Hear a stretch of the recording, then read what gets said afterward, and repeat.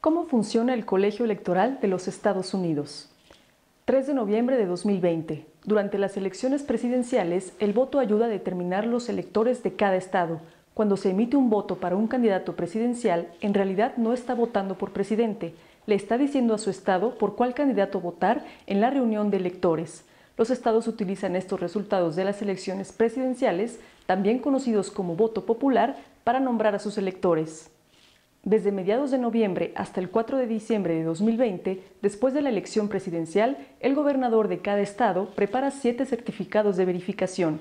Después de que se certifiquen los resultados de las elecciones en su estado, el gobernador envía uno de esos certificados de verificación originales al archivista.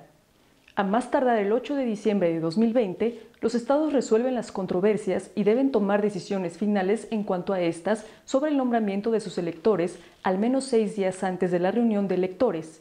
Es así que sus votos electorales se suponen válidos cuando sean presentados al Congreso.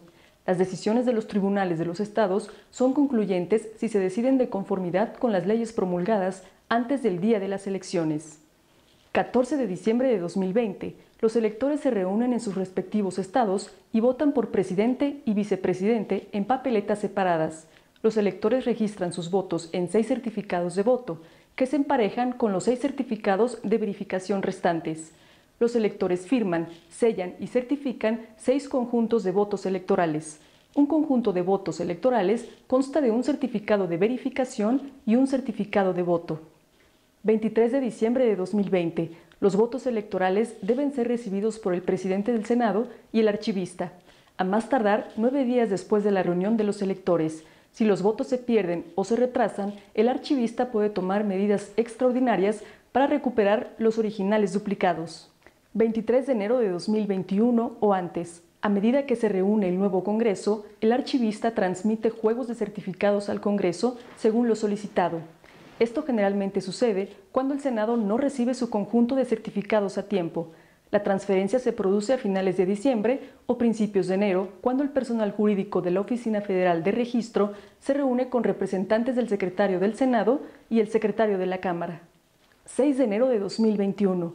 El Congreso se reúne en sesión conjunta para contar los votos electorales. El vicepresidente, como presidente del Senado, preside el escrutinio y anuncia los resultados de la votación del colegio electoral. El presidente del Senado luego declara qué personas, si las hubiere, han sido elegidas presidente y vicepresidente de los Estados Unidos.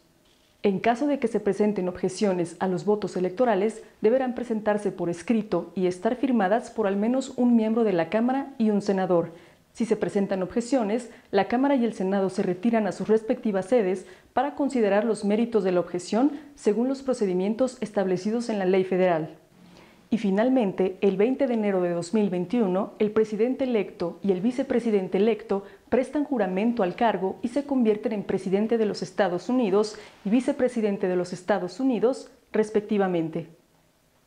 Síganos para una cobertura especial de las elecciones de los Estados Unidos de América aquí en el Capitalino.